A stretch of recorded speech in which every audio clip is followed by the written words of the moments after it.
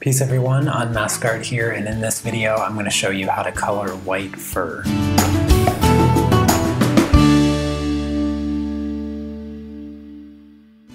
White fur is a lot like a mirror in the way that it reflects its surroundings. This is why so many people have such a hard time coloring it, because the truth is, white fur really isn't all that white. Have a look at this picture. What color would you say this cat is? I'm guessing you're thinking white. You see, most of the time when we draw something, it's the main subject that has all the color and the contrast. But when it comes to this white cat, it feels like the roles have been flipped.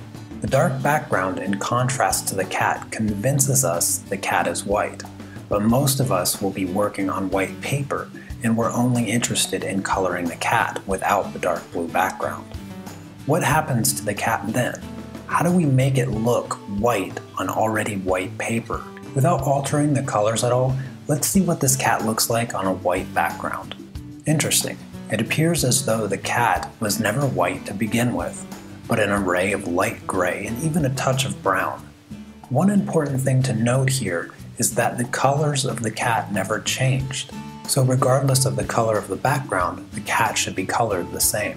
Okay, so I hope that gave you some insight on white fur, so now I'm going to show you what this looks like in practice.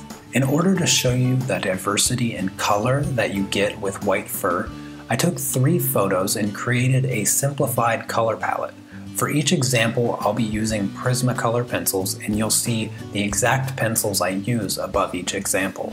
This first example is a very common color scheme natural warm light, so you get more warm grays and brown tones occurring in the fur. One of the more common mistakes with white fur, and this is especially true when working on white paper, is that we fear covering the paper. So, a good way of dealing with this is studying your reference photo and identifying the lightest color of the fur. In the case of this first example, it is the 1068 color. You can then reliably use that color to map out all the fur. Use it to establish the direction and texture. You can then use your darkest color to piece in your shadows. Once you are confident with where your shadows are and you've established your texture, use your mid-range colors to bridge the gap between the shadows and the highlights, always remembering to be mindful of the directionality of the fur.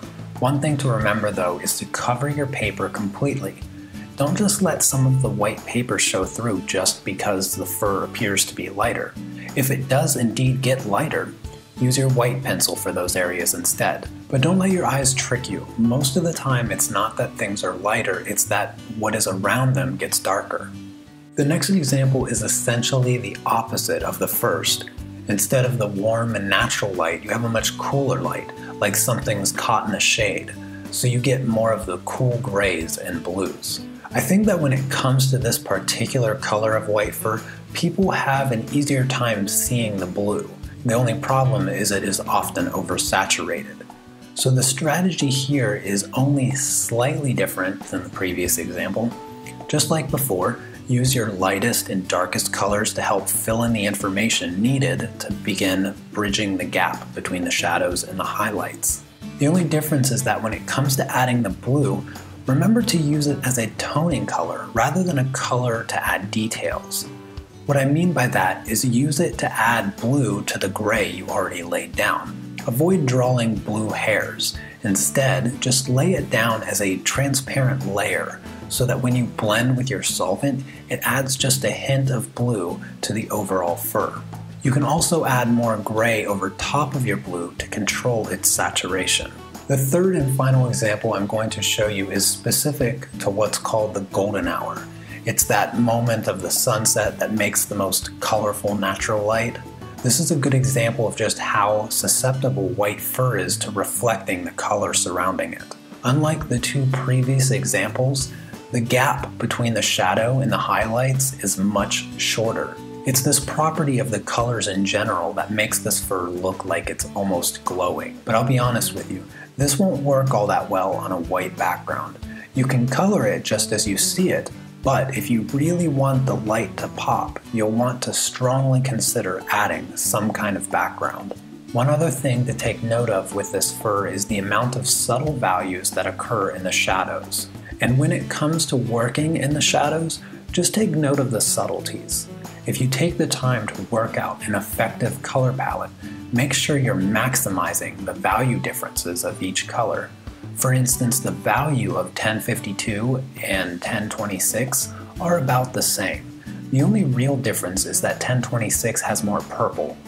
But knowing that, use it to your advantage for making those subtle changes in the shadows. Because in the end, mastering the control of those subtleties is the difference between good and great. At this point, you may be looking at these three examples thinking, okay, that first one looks like brown fur, the second one looks like blue, and the third looks like a unicorn. And out of context, I have to agree, so here's the context for you. You see, white fur really isn't white at all. We should all just be calling it fur because I didn't use a white pencil the entire time. Alright everyone, I know that I covered a lot of material in a short amount of time, but regardless, I hope that you found this tutorial helpful. If you did, make sure you share it so that others can enjoy it too. Give the video a thumbs up and leave me a comment with any of your questions or suggestions for future tutorials and subscribe so you don't miss out. And I'll see you next time. Take care. Peace. Thanks for watching everyone. I hope that you enjoyed the video. If you're interested in learning more about colored pencils or pastels, come join me and many others over on my Patreon page where I do live demonstrations and tutorials every week. Hope to see you there.